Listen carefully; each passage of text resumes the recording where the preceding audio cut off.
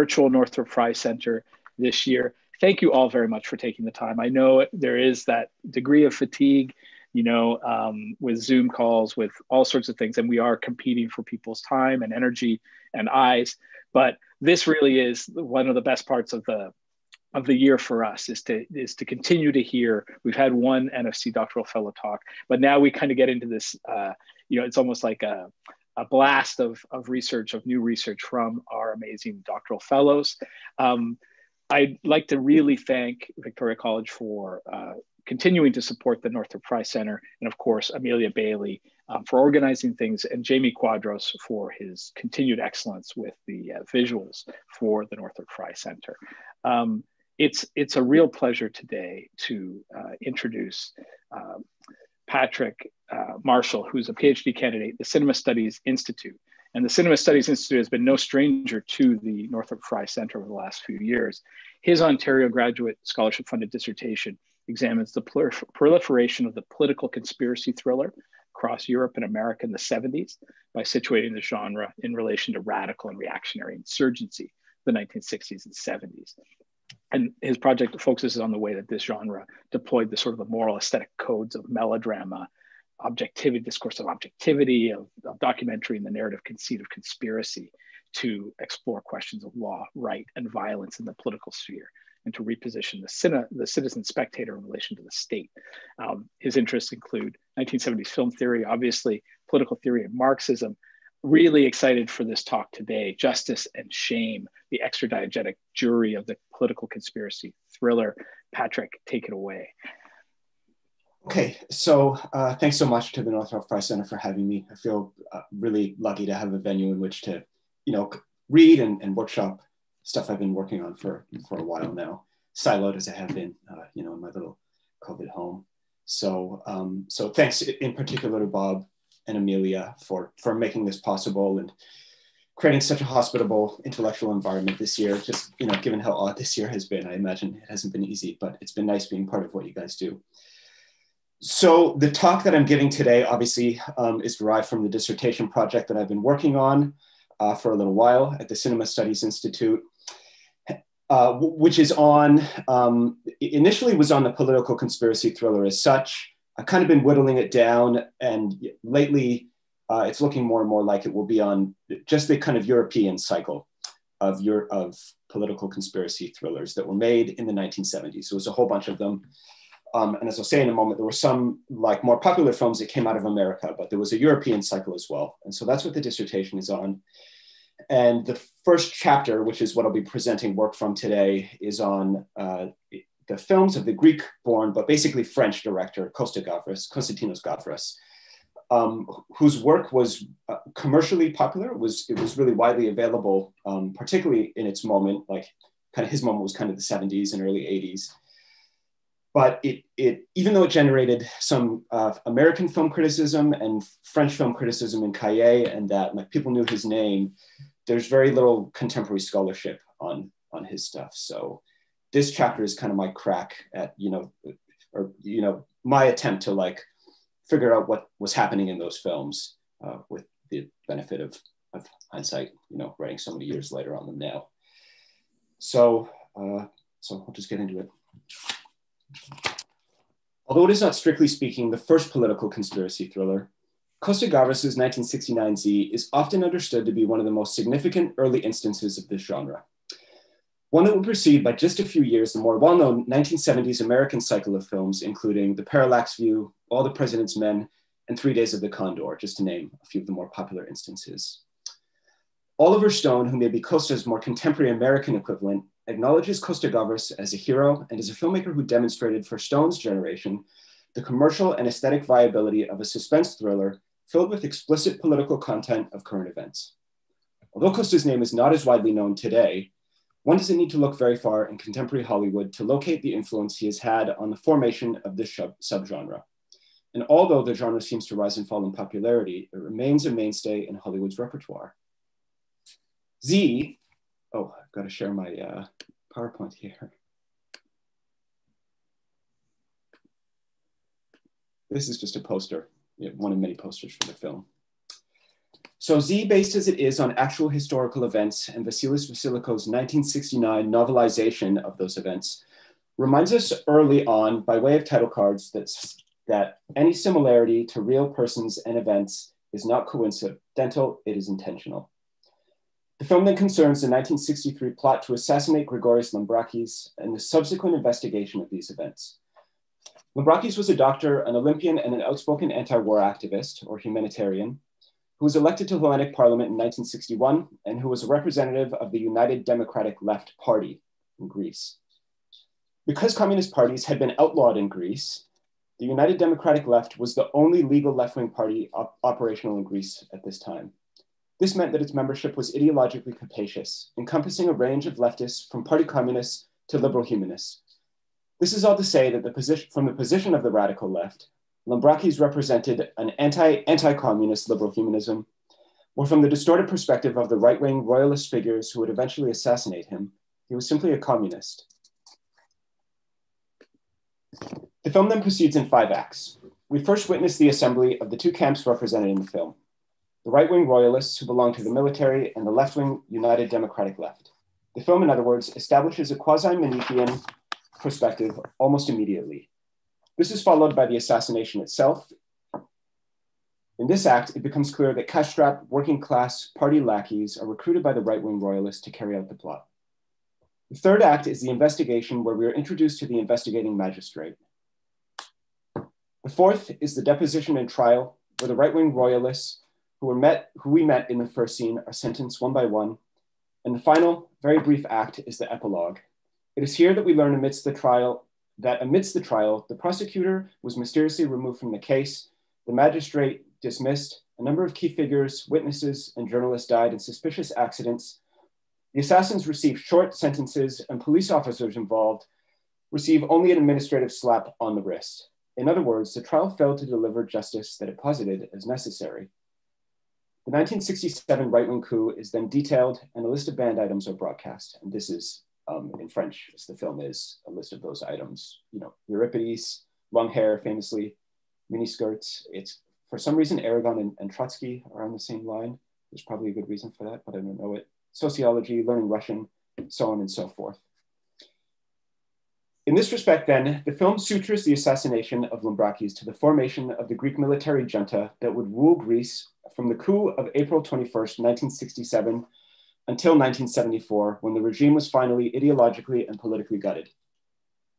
Put otherwise, the film makes the historical claim that the Lambrakis assassination and the coup d'etat of April 21st, 1967, form two halves of the Greek junta's moment of inscription, that is, the violence wrought by the state in the moment that it establishes its statehood.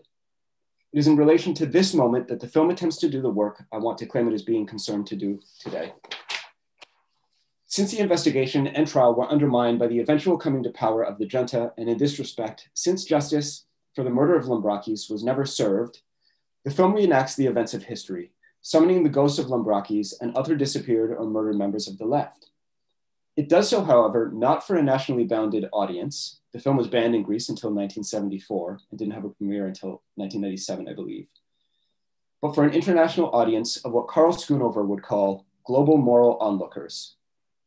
Zeynep Direk indicates, those moments of instituting violence, like the assassination of Lambrakis and the overthrow of the state to come, depend on their, quote, ability to produce models of interpretation that make its originary violence appear as right, necessary, and legitimate, History, in other words, is expected to bestow legitimacy on such acts. Costa's film attempts to intervene in history by broadcasting the moment of state forming violence for those global moral onlookers so that they might shame, discredit, and delegitimize that act and the state that made it possible. That is to say, in the absence of a successful legal trial, Costa Gavras plays on the structural similarities between the film spectator, on the one hand, and the jury in a court of law, on the other. Both witness what they take to be a representation of the totality of events and exercise moral judgment in relation to what they have seen. The whole that they now have in view is understood to underwrite the sense of fairness with which the jury does its work. With Z, Costa universalizes the institution of the jury by asking viewers to witness the testimony made possible by historical reconstruction for the, the sake of shaming the Greek state. To get us into our position of the extradiegetic jury, finally, Costa Gavras offers us a peculiar form of identification, one that is not initially with any character, but with the camera itself. What we get is an all-seeing, all-knowing perspective that Christian Metz would call the gift of ubiquity. Quite literally, a high moral ground from which to objectively apprehend and morally condemn the Greek junta. As I will show, however, in the final acts of the film, this omniscient perspective is handed off to the investigating magistrate before abandoning us, abandoning us entirely. It's around here that some of the problems with the film's tactics begin to emerge, I, I want to say, at least. Tactics which we might say are echoed in, this, echoed in those future instances of the genre. Firstly, in the case of both the Court of Law and Z, what we are offered is a pseudo-totality and an individualizing critique. Just as the Court of Law is unable to indict the system, of a whole, system as a whole, so too does Costa's film fail to emphasize the hierarchy of dependence between the assassins, again, these are working class citizens, which the film does emphasize, the police, the political authorities, and eventually the Greek palace. Secondly, where the jury in a court of law is agential, the film jury does not have available to it an action to correspond to their judgment. The film jury might seem to be unfettered by the system of bourgeois law that combines the agency of the legal jury, but matters are, matters are not so simple. The sense of moral outrage that Z wants to provoke is wholly continuous with the then emergent logic of human rights and the interventionist policies of imperial nations. The international film spectator witnesses the reduction of rights in a distant nation and is positioned thusly to support the very forms of foreign intervention that would sweep the post-war globe and which would come to be an important mechanism in the spread of neoliberal capital. So just to, just to summarize them, my claim is twofold. One is that, uh, is that the film exposes the originary violence of the Greek military junta by way of reenactment, and thusly it asks the global viewer to shame the state. And secondly, following from this, since the spectator has no course of action available to, to them to sublimate their outrage, that is to say, since there is nothing that would count for the individual spectator as shaming, the spectator is attuned to an emergent geopolitical order in which foreign intervention, often carried out in the name of human rights, is underwritten and legitimized. The film then establishes a set of formal and spectatorial codes that would be inherited by so many future instances of the genre. All thrillers feature a moral and or legal transgression that must be contained, and in all political thrillers, this threat is either a reactionary or radical threat to the stability of an otherwise robust, fair, and free democratic order. Much like the films that would follow from it, Z brings together a range of genres, modes, and traditions. It is a suspense thriller and so conforms roughly to classical Hollywood narrative structure. The plot is organized by a deadline, and although, as I'll soon explore, the film offers a fluid form of identification, characters must act in a precise and timely manner. The film takes on to a degree the melodramatic, Manichaean morality characteristic of the lower instances of Hollywood cinema in its construction of the courts and its representation as seeking justice, while the functionaries of the Nationalist Party and their working class lackeys. Insofar then as Z in particular is a docudrama, a story ex excised from history, it both works with and internalizes a discourse of sobriety. We see newsreel footage and we are reminded that the events depicted have actually occurred. Finally, then, insofar as the film has ostensibly legal content, it builds a case against a cast of criminals. It presents us with an investigation and a deposition or pretrial. The film takes on important aspects in this respect of what Carol Clover calls the trial movie cycle. It is from Carol Clover's 1998 essay, God Bless Juries, that my talk gets its concept, and it is to that analysis that I would now like to turn.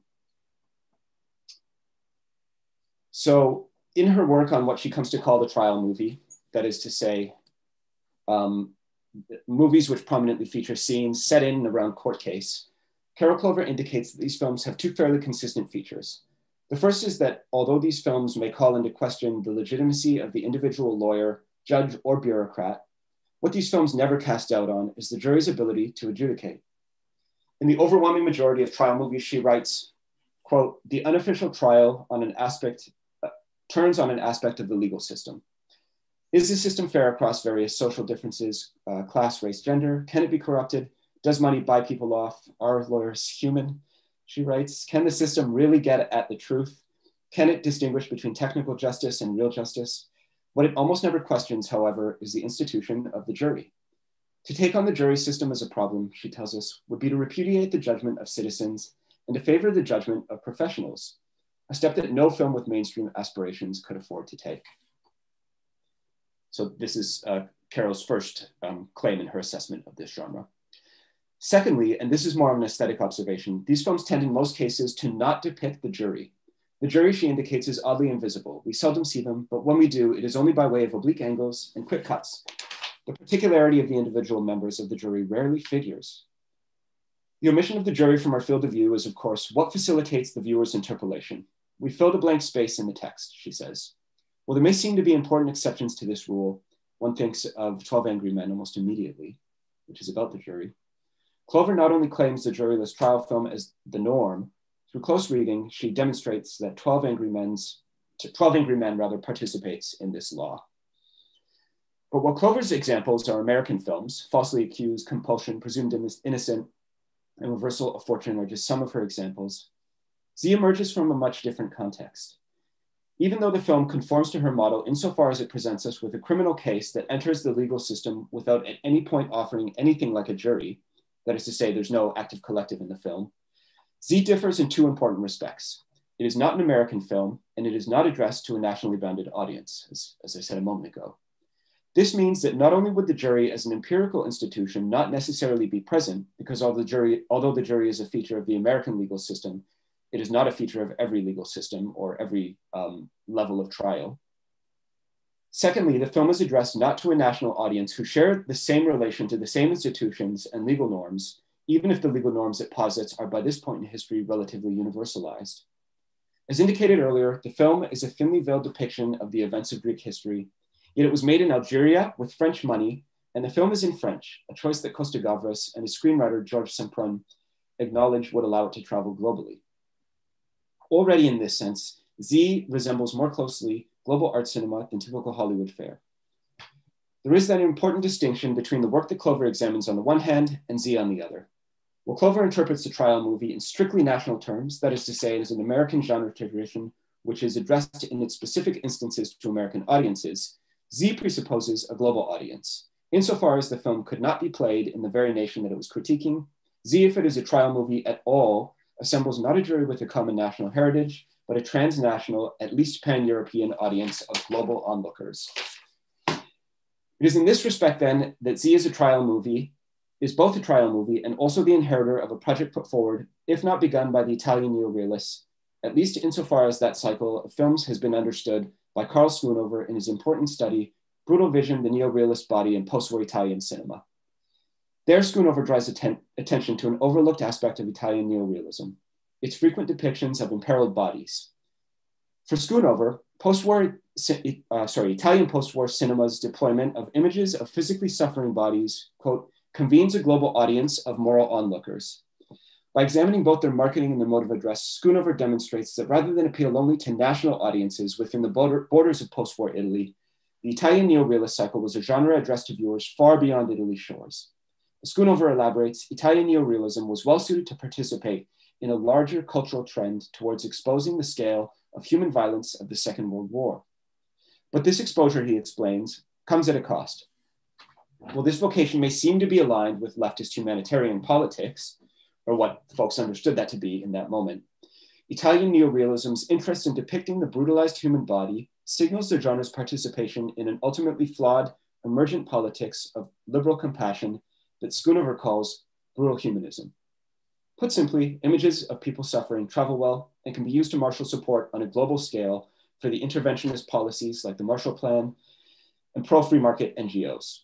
That is to say, the work that these images do ultimately comes to serve the proliferation of global capital, a maneuver that would have massive repercussions in the last quarter of the 20th century and beyond.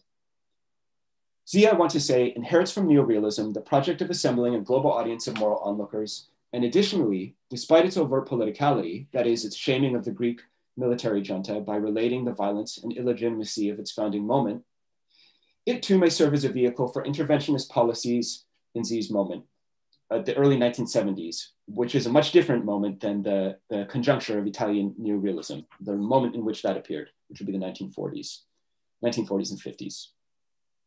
That is to say, as Jessica Whyte tells us in her study, The Morals of the Market, By the early 1970s, the post-war interventionist policies of the 1940s and 1950s had begun to congeal into a much more integral part of the logic of uh, global and globalizing capital.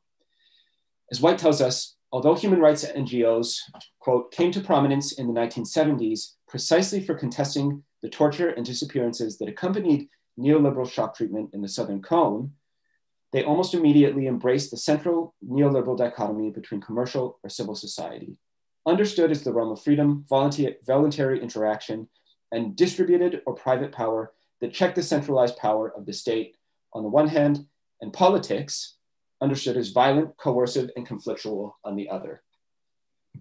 Whyte said, sorry, uh, Whyte cites Kenneth, Kenneth Roth, the director of US-based Human Rights Watch, to describe the methodology of human rights NGOs in this moment, which resembles in striking terms the work that Z and the political conspiracy thriller do. Quote, it consists in the ability to, and this is Roth, to investigate, expose, and shame. That involves identifying a particular violation, a specific violator, and a clear remedy. This has made these NGOs both reluctant and unsuited to challenge the structural and impersonal effects of market processes, she writes. Nevertheless, while supposedly eschewing coercion, major human rights NGOs have been quite prepared to call on the military might of the most powerful states to intervene in the name of securing human rights and universalizing a distinctive moral order. This is the enforcement of human rights by way of coercion. In the process, they often align with the neoliberal embrace of a, quote, strong security state stripped of its social capacity so as to protect the market and enforce the morals of the market across the globe. And this is kind of um, Whyte's argument in this book. Z's global motive address is evident not only because it was made in a different nation than the one that it is ostensibly about, and not only because it was made in French so that it might travel well. Like many art films, Z actually did play to global audiences, as evidenced by these posters advertising the film in France, America, Italy, and Japan. Just as the transnational paraphernalia for Italian neorealist films emphasized their focus on brutal humanism, in some cases, and began the paratextual work of assembling their global audiences,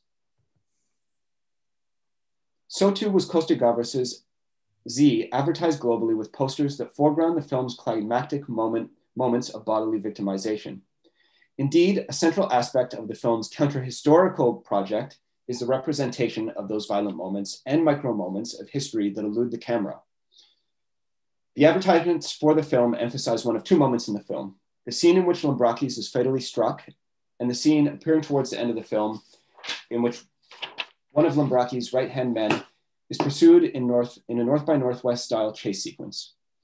With respect to the grammar of these posters, then we're given um, a Kafkaesque image of bodily dislocation, a claustrophobic depiction of the body of Lambrakis from an angle oddly reminiscent of Hans Holbein's the, the Body of Dead Christ in the Tomb. That's the one on the, on the right side there. Um, a range of posters which emphasize the film's adoption of, an, of that north by northwest style chase sequence and, um, and Lambrakis' suffering body being supported by the hands of what seem to be varied onlookers. There's also an Italian poster here, which um, uh, you may notice the translated title of the film in Italy was not just Z, but Z, the orgy of power, for, for better or for worse. That's what, that's what they called it. um, so Italian neorealism on Schoonover's reading is a potent form of political cinema. Rather than depend on resolute refusal of identification, as would be the case with what is basically synonymous with political cinema, cinema today, that is uh, what we call political modernism, stuff like Godard's work in, in the 70s um, and a little bit beyond. Neorealism plays on the viewer's moral responsiveness, just like, just like Italian neorealism did. Sorry, neorealism plays on the viewer's moral responsiveness. That's what I want to say appealing to the viewer's sense of virtue by way of a melodramatized realism is a powerful means by which to assemble a global audience precisely because the viewer, what the viewer witnesses takes place in another world, one that is not, strictly speaking, accessible, accessible to us in the here and now. The fact that I can't do anything about the condition of these suffering others, the fact that my feeling is that my feeling is not actionable, even though an ethical claim is made on me, seems to be precisely the element that infuses this form of relationality between spectator and, and someone they see suffering in narrative cinema. Um, In this respect, Schoonover's description of the ethical power of neorealism can be clarified by way, uh, sorry, by reference to Stanley Cavell's understanding of what it means to be a spectator, witnessing characters who are in pain. In The Avoidance of Love, Cavell's essay on King Lear and his most sustained exploration of the conditions of spectating, he inquires into the peculiar form of relationality between spectator and suffering character. What he asks there is the existence of a character on the stage. What kind of grammatical entity is this? First of all, he says the character is not aware of us, so the relation is one sided. Secondly, the character is in our presence when they suffer, or since the character is in our presence when they suffer, a claim is made upon us to acknowledge that suffering. Only we can't. As Cavell puts it, we know we cannot approach him, and not because it is not done, but because nothing would count as doing it.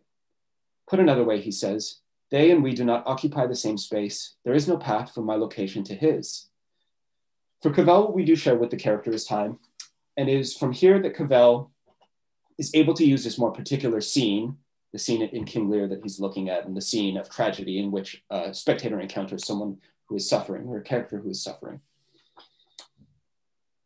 Um, it, it's, it's by way of this that he's able to, um, for, sorry, so for Cavell, what we do share um, with the character is is is is not space and a world, but time.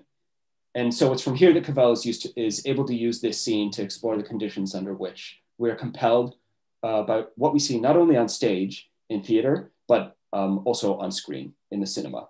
So as he elaborates in the world viewed, quote, in viewing a movie, my helplessness is mechanically assured. I am present not at something happening, which I must confirm, but at something which has happened. Movies, in other words, are interesting and compelling and have significance for us. That's you know the kind of central question for Cavell. Why do movies have? Why do they matter to us? Because we see things we would normally feel compelled to respond to or to acknowledge in Cavell's language, but that we can't, or that there's nothing that would count as acknowledgement here.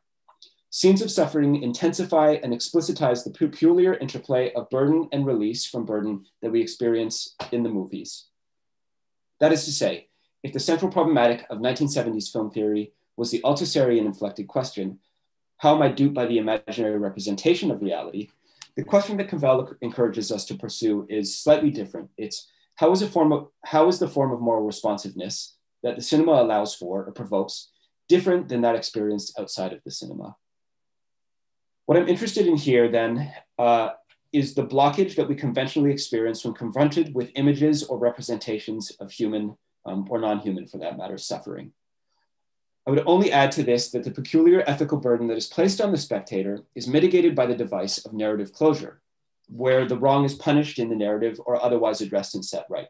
The burden on the spectator is eased and the spectator is free to forget what they have witnessed, or, or this is some version of what we, we conventionally tend to say when we talk about narrative closure. Um, and following from this, where the narrative, where narrative closure is not offered, as is the case in tragedy, then, as we often point out, again in our ordinary ways of regarding such things, the spectator is burdened by the sense that something must be done. Or as Schoonover puts it, quote, we are left longing for outside help for someone to adjudicate and regulate this world. Indeed, this burden or sense that something must be done will be more intense the closer the depicted events resemble some version of reality, as is the case with Z or any docudrama really, or documentary for that matter. The question with respect to Z that this leads to then is, how does that form of moral responsive, responsiveness cultivated in the cinema, one that is not strictly speaking actionable, since there is nothing, as Cavell tells us, that would count as responding to characters, find expression outside the cinema? Z poses these questions in peculiar and particular way because of its documentary content. When I see the suffering partisan on screen and understand their struggle to belong to the same empirical reality that I belong to, and experience the unconsummated moral burden made possible by the camera, which shows me this, how might this burden or blockage be transformed into activity? Or is there a form of activity that corresponds to this? If we see activity not as a direct acknowledgement of the other's pain, but as Schoonover uh, encourages us to, as simply being attuned to and willing to support an organized geopolitical force like global capital, which by the early 1970s is beginning to predicate its universal, universal appeal on the grounds that it would bestow human rights and therefore freedom from the repressive state's violent incursions, if we see activity as this, then we can see Z as participating in, even if unwittingly, in the, or, or can we see Z uh, participating, even if unwittingly, in the expansion of global capital? And even worse, if the very regime that Z denounces is one made possible by that expansion, does the film undermine its own goals? Cavell helps us to better understand the moral emotional motive address of the cinema, one that is particularly potent in the films which in films which are A violent and B have some documentary relation to the spectator's own historical political universe. Cavell details I want to say here is the ethic which animates not just the experience of the spectator witnessing tragedy on stage or on screen, but also both the politics of pity described by Schoonover and perhaps more strikingly, the ethic of the film jury is described by Clover. An apparently disinterested subject is called on to witness evidence of some wrong. The wrong can be addressed in the moment of its occurrence, but where guilt is established, the affective investment in righting the wrong can be transformed by way of the jury's vote into justice. That is to say, in the absence of narrative closure, we are called on to judge what we have witnessed. And it is with this insight that I would like to import to look at the important role of the camera in fostering the kind of identification that will be necessary to interpolate the viewer as an informal jury. So Z positions its audience as members of an extradiegetic jury is, is kind of what I've been, been attempting to, to argue, or at least saying so far. It does this instantly by indicating to them that what they are expected to do and what they're expected to do and how they will be able to see. With the help of the camera and in keeping, the in keeping with the journalistic ethos of the film, what was once opaque will become transparent. This new transcendental perspective makes the extradiegetic jury, that is us, into all-seeing and all-knowing adjudicators of the moral wrongs that it depicts. To do this, the film opens on this shot, which uh, this shot, which is rendered transparent by lens focus. In its opening beats, in other words, the film establishes the form of identification that the film will instantiate, a hovering and mobile identification with the camera and a perspective which exceeds any particular character, that is to say that the film withholds identification with a particular character through most of its diegesis, rather than offer a hero with whom we, might, we will identify. Z in this way indicates that we are one with the camera, just as in a trial when diverse perspectives come together to form a totality. The audience of Z is offered a disembodied perspective from which to observe the events of history. In terms offered by Christian Metz, secondary identification, identification with particular characters, is collapsed into primary identification, identification with the apparatus. Put otherwise, the film plays on what Metz calls the cinema's famous gift of ubiquity, what I referred to earlier, and that is the sense of omnipotence um, in which we possess the camera's potential to capture the world in its totality. In the cinema, in any case, I am unbounded and reconstituted by the camera. Z only doubles down on this by initially offering no, no sustained positive identifications with characters in the film. Thusly, the dynamic of primary identification, whereby identify with the camera, is a form of identification at play through much of the film. Okay. I'm going to skip over um, this next point, which is just that this the next sequence um, draws this direct parallel to um, a sequence from Eisenstein's October, in which uh, Eisenstein has this montage of religious um, and like state idols and icons and the way in which he brings them together suggests that um, religion like the state are sort of hollow ideology and and Costa kind of mimics this in the beginning of, of his film. Um, so when the film proper starts then, once we actually get into the narrative after this opening montage, and we meet the antagonists, we are made privy to a scene that any diegetic jury could not possibly have witnessed. We witnessed the right wing ideologues in a closed room meeting where military figures, using, metaphors derived from biology, detail the logic from which their planned assassination will derive its legitimacy. The leftist is compared to a disease and the nation state to a plant afflicted by the disease. To maintain the good health of the nation state, the disease must be expunged. The state is founded, in other words, on a constitutive exclusion, or what Chantal Mouffe calls the drawing of a frontier between us and them, those who belong to the demos and those who don't. Hence, the camera cuts from member to member whose boredom and exhaustion and lack of commitment we witness firsthand. We even see a party member disinterestedly sketching the royal family's crest in an echo of the uh, medal sequence. From the beginning of the film, then, as Clover herself acknowledges, the extradiegetic jury is positioned as more omnipotent than any jury could ever be. The following sequence, in which we meet the United Democratic Left, only confirms further the film's intention to keep the audience's perspective and identification in line with the camera rather than any particular figure in the film. Here, before Lambrakis even appears in the film, we see his assistant struggle to locate a venue, um, to locate a venue for their upcoming event. We first see them being told by the venue manager that they're no longer able to use the venue that they had already begun to decorate in advance of the evening's event. Just as they, ra- just as they raise the perhaps paranoid possibility that someone has intervened, the camera pans twice to reveal a conspiratorial figure lurking behind a newspaper, which is not visible to, Lam- to Lambrakis' assistant, but is visible to the camera. The camera's omniscience and therefore power is established, and the audience is encouraged to take it on as the film's point of identification.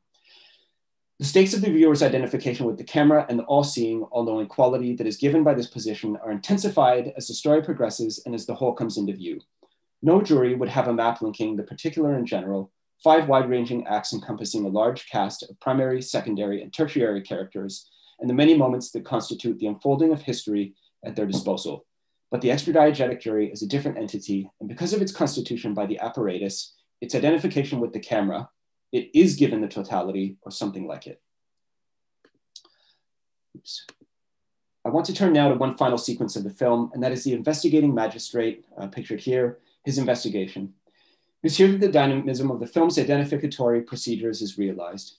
The viewer's identification is initially allied not with a particular character through most of the film. There is no one who is agential enough or psychologized enough to support identification. Even Lambrakis, who is more of a Christ-like figure, only appears 15 minutes into the film, and although he's confident and admirable, he is struck and rendered unconscious by the 30-minute mark.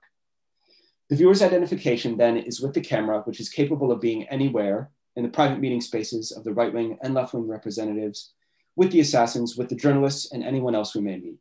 The investigation sequence, however, indicates that omniscience is not only transspatial, capable of being anywhere, but also transtemporal, capable of being anywhere at any time. In the fourth act of the film and final act of the narrative proper, when the investigating magistrate interviews suspects and witnesses, the film uses a flashback structure to return to the events surrounding the murder of Lambrakis. Suddenly, then, the omniscient narration that was only available to the spectator via the inhuman apparatus of the camera is handed off to the investigating magistrate. He is investigated with the power to assemble diverse perspectives in order to produce the truth, and hence he becomes momentarily the figure with whom the spectator identifies.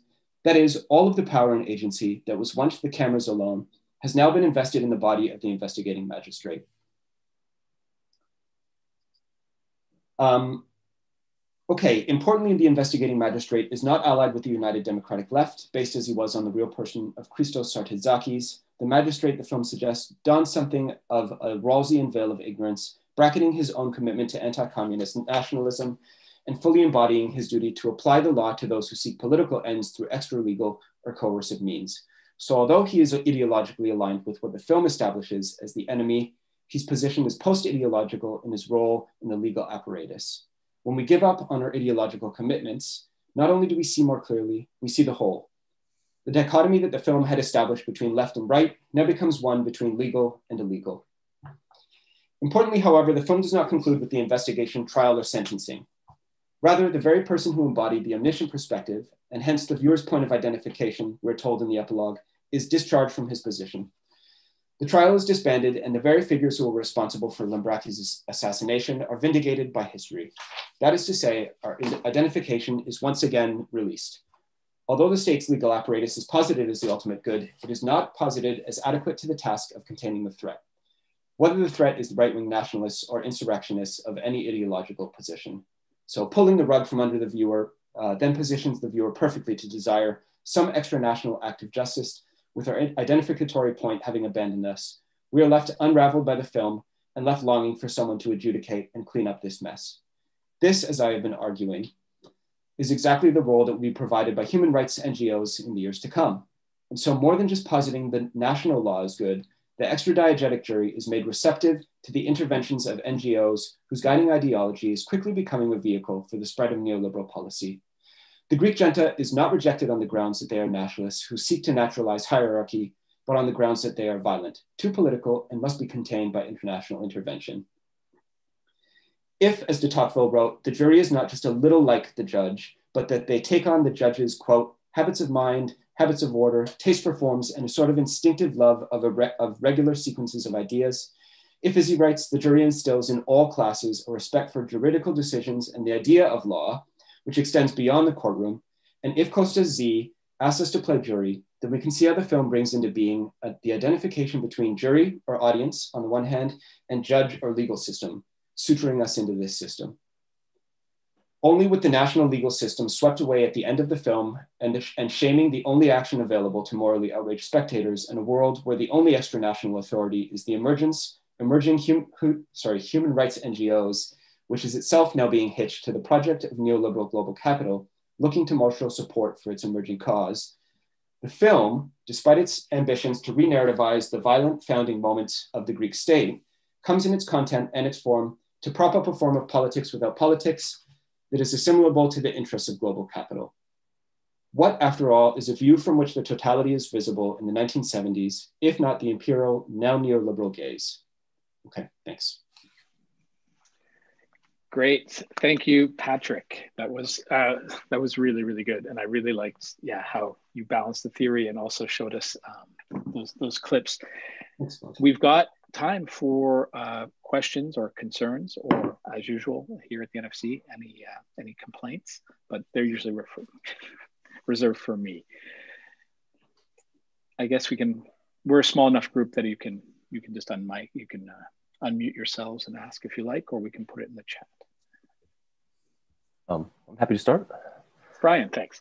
Thanks. Um, Patrick, thank you. That was really great. Um, I, I, really, um, I really like the idea quite a lot uh, of thinking about the political efficacy of this film on a global level in terms of shame.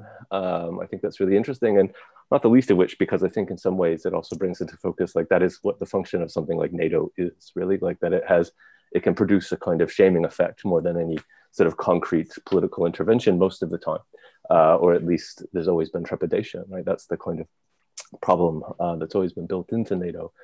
Um, but it, it, raises a question and uh, for me about the global dimension. And I think it's really interesting. And so this is not, uh, this question is not born of skepticism, but of just a curiosity about what it will take to really define shame conceptually at a global level. Because on the one hand, at a national level, uh, we can see always the difference that shame can make politically and that it actually can have, like as this kind of first sort of affective outpouring, right? Um, it can have a hegemonic effect, right? That will force legislators to to to change the law, right, in, in this or that way. Um, but shame is also very slippery, right? So, for example, one of the examples that I that I really like, uh, and I may have told you this before, but the um, I think it was ten years or so ago in in Ohio. Uh, Ohio passed a law uh, that basically said that if you had been uh, arrested uh, for a DUI, uh, you could drive again, but you in the first offense, but you would have to have a different license plate. So one that would be burgundy and gold. And so theoretically, you could be driving down the road, and perhaps as people know, right, burgundy and gold is also the colors of the Cleveland Cavaliers, right, the Cleveland's basketball team. So you could be driving down as a kind of DUI offender, right, and somebody might honk their horn and wave at you, and you might think, oh, this is great, right, solidarity, like another drunk driver.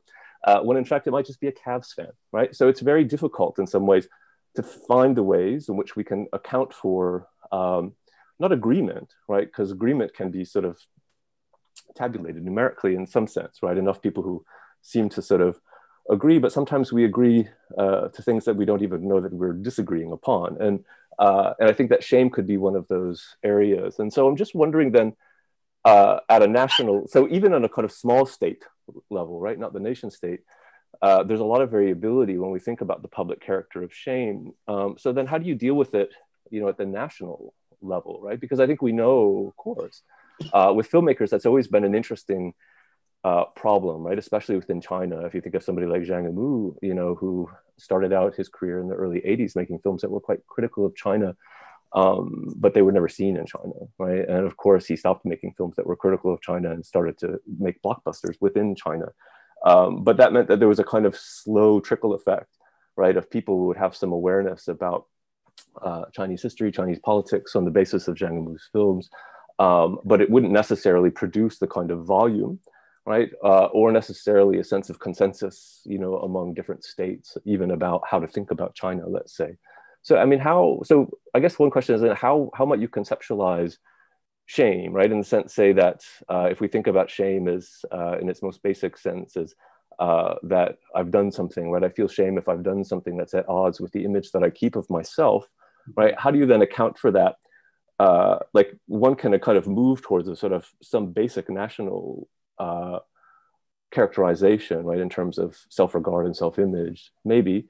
But then how do you deal with that at a global level, right? Or does it matter? Is it just enough that there's a kind of audience in which shame takes the place of actual, you know, juridical work in, in some sense?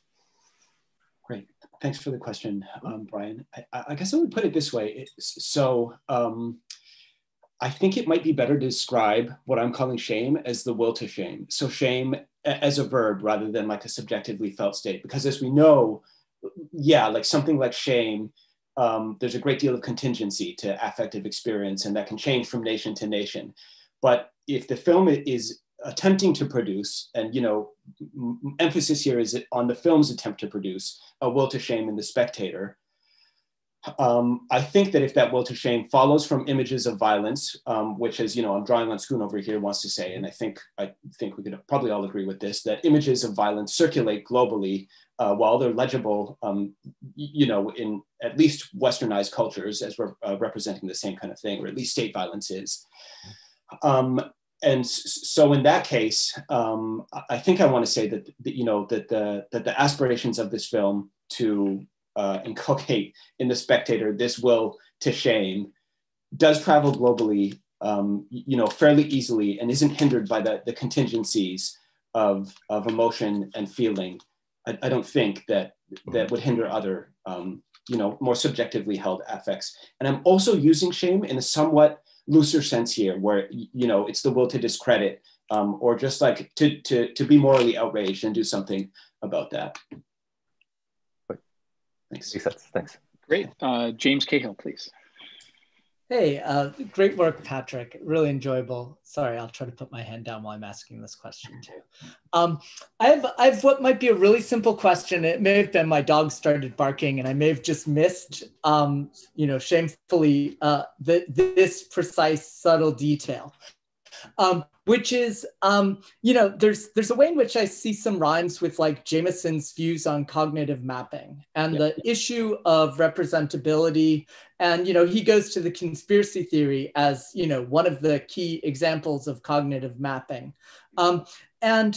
Um, you know, and with cognitive mapping, it's about that, you know, find the local and connect it to these global systems that are beyond perceptibility, right? Beyond the the like readily apprehendable by rational thought or by our kind of current perceptual faculties. So my question would be, and this again, you may have answered this and it may be really simple or it may just be so pedantic it's embarrassing, but um, my question would be, in thinking about this notion of the alignment with the camera as giving us a kind of access, or to use your terms now, will to totality, right? To some sort of view of the bigger picture. Um, is this reliant on a kind of ideology of the visible that in every single framing throughout the film is also being troubled by what in suture theory we'd call the absent one or l'absent? I mean, like, to what extent does, does this kind of access to totality rely on the ideology of the visible or is it a, a kind of metonymy or, or, or um, some other relationship to other ways of apprehending what is beyond typical sense perception. Um, I'll take my question off air. I love the paper, by the way, and exactly what uh, Bob had said about its integration of theory and the real particular. Uh, that was nice. Thanks, James. Okay, so um, like, yeah, obviously um, th there's some resonance with James's way, or not James is you, Jameson's uh, conception of the of the of the political conspiracy thriller, which is you know probably the most um, dominant um, and you know maybe one of the only formulations of the genre as a whole. And this film is doing similar work to the films that Jameson kind of bases his analysis on, but it's also uh, uh, quite different in important respects. And and so um, and so like you, you you have the kind of like in both cases of Z and the American films that that um, that Jameson is looking at a mapping function, but um, uh, in the case in the case of Z, the parts that it brings together are a little bit different. The corporation is not a character in the same way in this film as it is in something like the Parallax View. Um, but you, the, where the resonance is, I want to say, is in the way that um, the, way that this film offers, in the same way that the films that Jameson looks at, and in the same way that Jameson wants to say this, something like a degraded totality. And so it is, it's kind of like a pseudo totality. So it, it, it allows us to, you know, witness uh, large scale historical events from various perspectives. It then brings those perspectives together and offers us the whole. Um, but what the film doesn't do, and what it would do if it offered us the, the, the, the actual totality, and I think Jameson would say as much, is it would give us some sense of the way in which class stratification plays into and makes all of this possible. Rather, it kind of, the trouble with the film, I guess, you know, what I want to say is one of the problems with it, is it mostly stays at the level of the state and doesn't situate itself like in a larger dialectical totality, historical totality. Um, so, you know, in that respect, it, it, it's, it's, it's a lot like what Jameson describes, but the stakes um, obviously are, I think, a little bit different, or at least the, the stakes in my project are a little bit different than the stakes for Jameson. Okay. Any other questions for Patrick? If not, I, would just like to ask you a little bit, uh, Patrick, if you could just expand a little bit about the sovereignty of the jury. Um, you know, you make this sort of connection between, you know, the viewer, the spectator, um, and the camera, and you kind of project this to sort of the omniscience, but also outside of the, you know, at the international level. Does the suturing in and our identification with that investigating magistrate complicate that, you know, the end game at all, or do you find that the sort of you know what you what you kind of point to the rise of the sort of neoliberal um, humanitarian sort of doctrines is that going to wash it out anyway um, so yeah like the dynamic is kind of like we're identified with the camera and um, kind of doing like the jury like work that we would do in a court of law but as spectators in the cinema and the thing that makes that possible um, is the camera, say in the same way that like evidence in a court of law um, or you know witness testimonials would make that possible. Um, and so, yeah, I think there, there is a kind of like utopian moment in this also, or a moment of sovereignty where it's like we exercise our own moral judgment or whatever as spectators, just as a jury would, uh, or as a jury seemingly would, a seemingly, you know, formally free to judge uh, jury would. Um, but then importantly, and in this kind of rhyme with, um, with what happens with actual juries, obviously I'm not claiming that the spectator is an actual jury because they're two totally different spheres with different rules and so on and so forth. But um, in the same way as, you know, de Tocqueville wants to say, the jury ultimately is like, they're all, every member of the jury is like a little, um, uh, a little judge, basically, and takes on the values and the way of seeing uh, and and you know the kind of point of view of the state that the judge takes on. In the same way that happens in the court of law. The film kind of like cleans all that up uh, or all, all of the divergences in perspective that may come about by offering us an identification with the investigating magistrate towards the end of the film before then abandoning that perspective at the very end um, you know leaving us with that sense that as, as says you know we need some form of intervention uh, to do something about what we've seen because we don't have any form of agency available to us to address okay. a problem. Okay, so it kind of gets yeah, it gets taken away. Okay, um, Mint, did you have a question? Uh, yeah, I, first of all, Patrick, I love the paper and uh, have so many things I want to talk to you about that are more tangential than are appropriate here. Um, I'm I, I, all of this discussion has me thinking about um, some of Slavoj Žižek's comments about all the president's men uh, and how oh. just absolutely liberal and distasteful he finds it, and how I've never that's never sat quite right with me. Mm-hmm. Um, like I can understand the critiques of of Parallax View and Days of Condor and uh, um, and the conversation because they they end in this kind of like in the sense of hopelessness there is no solution and it can lead to this foreclosure uh, of activity.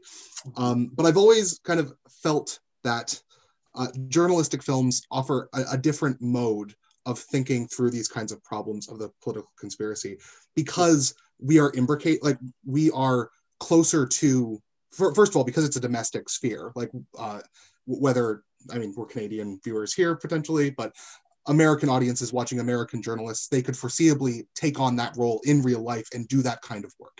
Um, that there is some sense of the domestic connection um, allowing for allowing for a kind of action that might actually be more politically viable than the kind that is proposed in these other modes that do create this sense of foreclosure where you have we're being willed to shame the the junta but there's no actual way to do that and so Yeah. This, like I like I said, I'm not quite sure how to phrase this as a question, but I'm wondering if there is um, if part of the reason that you have kind of uh, specified your your project to be looking at this kind of European cycle, but like festival cycle of filmmaking um, that that is intended for a global audience, is that there might be some way for there might be some circumstance where films within a domestic market have more leniency in in promoting some kind of political action. Does that make sense, question wise? Uh, I- see where you're going, but I wonder if you could say anything more about, um, in, in terms of a, a prompt or question, what you're wondering. I, I think I've got a bit something of a response for you. Would okay, so Imagine Z is able to be screened in Greece in '69. Is kind of my question. Is would would the film read Yeah. differently in that circumstance? Yeah. I, I guess is the, the way that I'm uh, phrasing this. Yeah, it- it's a difficult question to answer because it, if, if, if it were able to be screened in Greece, then certain elements of the film wouldn't be elements of the film. Um, so, like, here's how I'll put it: like, um, the film, you know, like I said earlier, there is this kind of like, uh, you know, I guess what Jameson would call utopian moment to the solution that it, proposes to the problem that it examines. Uh, and that is the way in which um, it initially posits, you know, no one um, in the diegetic world that it presents as, as capable of politicizing and taking on uh, as agents the problems that it figures, but asks, in a certain sense, the people uh, to do that. Um, you know, in the same way that, that, that some of those American films would do or whatever.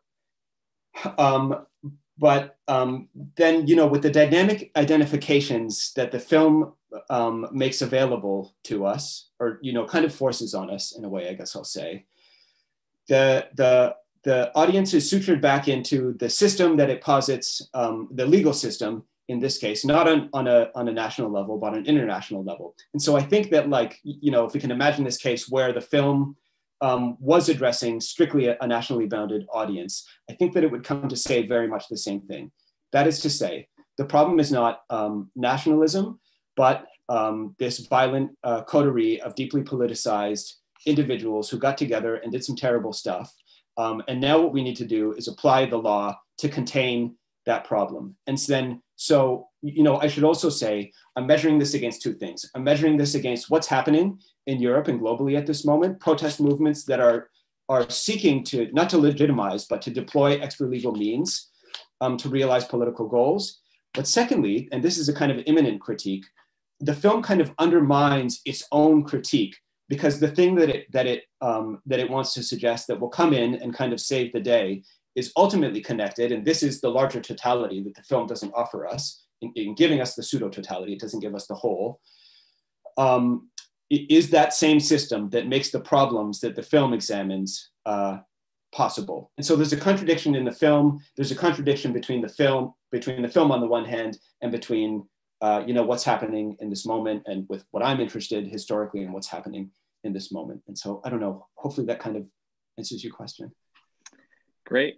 Um, we also have a, a comment from uh, YouTube. Would the grand jury not be a better comparison than the trial jury in this regard? Grand jury's knowledge is absolutely limited by prosecutor in trial. Defense gets a chance.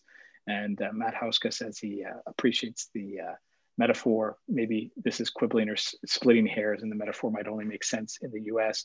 I think it also is interesting the the um, prosecute like the investigating judge right system that they have in Europe, like in France and Spain and presumably Greece, where you have a magistrate who acts as an investigator too. I wonder, you know, how that might tie into the mixing of the metaphors. And Um, you know, I guess I'll put it this way. Like, oh, sorry, sorry, Bob. no, no, My I, I was kind of losing you. My connection is not so good at the moment. no. If you'd like to comment on that, and then the other thing I will just slip in is that you know, you're positing that the, the film might kind of uh, undo itself. Jorge Semprún would probably not be happy to hear that. He was such a dedicated communist and, uh, you know, living in France, but as a Spanish, as a Spaniard living in France in exile. Yeah, Semprún wrote uh, like a number of these types of films, and like um, I, I, haven't been able to find that much on Semprún, but uh, Costa Gavras was kind of like belonged to this um, post.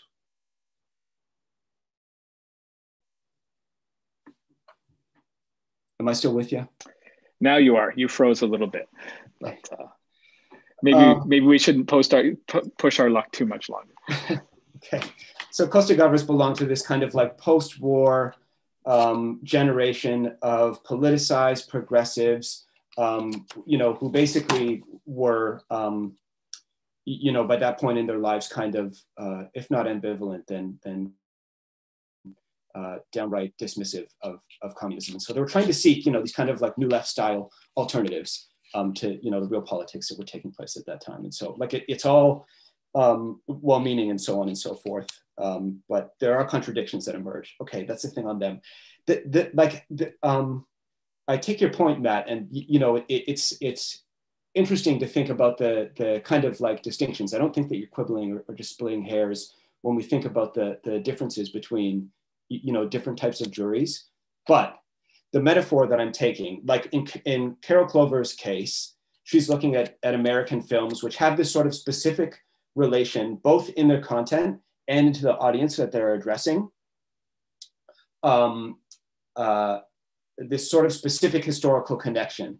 And so there the differences may come to matter. Whereas here, I think anyways, what I'm arguing is that the jury simply functions, um, is, is functioning as something like a metaphor.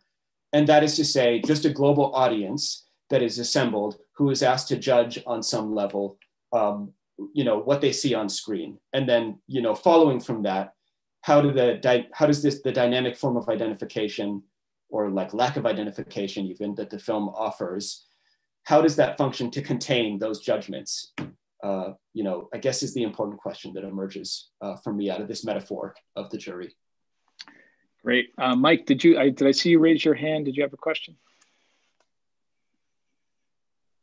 uh, more an observation if you will yeah. um, uh, maybe perhaps uh, I, I was their moment. yeah. Could I have seen the film in Toronto in 69? Uh, summer of 69, because I believe, I know I saw the film in Toronto, but I think I saw it in 69. Is that chronologically correct or might it be a bit early? I'm not totally sure. I was looking at the release dates the other day. I think it came out a few years later. Really? Oh. You could you could check IMDb. You, you yeah, I, I could do that. But as as I think back on the time, uh, in the Toronto audience, I was uh, a, almost a single non-Greek, and I'm thinking of your reference to uh, the the audience's jury. Yeah. And, the, and I so I was in amongst many many many expat Greeks. Oh yeah. Many of whom I believed were of the age to have experienced the the, the late 40s Civil War. Yeah. And of course, seeing the other films around them concerning other uprisings in, in East West Berlin and, and uh, prior to that, the Hungarian Revolution. And then uh, the Czech Prague Revolution, if you will, in mm-hmm. 68, 69. Um, the audience came out of that. I, I, do remember very clearly. The audience came out of that film just raging I mean, they were they were a jury unto themselves, and uh, just horrified at what had happened. Yeah. So that it, it, was a swarm fell spilled out into the into the street, and uh, it was screaming and hollering, and it was a, a an audience jury, in effect. That's just an observation. I, I remember that very clearly. I clearly don't remember the date quite. I thought it was 69 in Toronto, but I think it may well, as you say, have been a little bit later. But there, I just wanted to make an observation. Yeah, um, like in uh, in Roger Ebert's uh, like basically contemporary review of the film, he loves it and he calls it unbearably thrilling. and like watching it today, I'm like, it, I like it, it's good, but it's certainly not unbearably thrilling. So it, like from my perspective, it's hard to judge, you know, like what effect it would have had on audiences in that moment. Mm-hmm. So that's interesting to know. Yeah, just a little slice of then life. yes. Yeah. Thank you so much. Patrick, um, thank you so much for sharing, taking the time. Well, you kind of had to, but uh, for sharing your work with us today and uh, generating this discussion. It's been a real pleasure to hear your work. Thank you. Thanks so much for having me.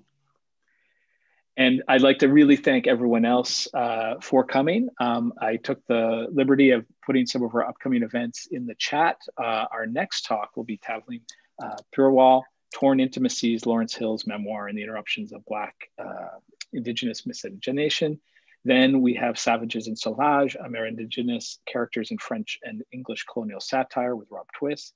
And then our um, Northrop Frye Center annual lecture this year will be given by Professor Alison Matthews David, who some of you may know here in Toronto. She did the book uh, Killer Fashion, and we'll be hearing from her new project on, it's called The Scarlet Thread Unraveling the Fabric of Crime, where she looks at um, yeah, um, forensic forensic fashion and and garments and things like that.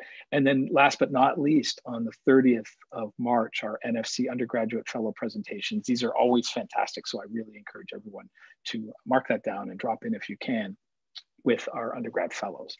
So next up will be next Friday at 2 p.m. with uh, Tavleen. Hope to see you all there, and thank thank you very much for coming.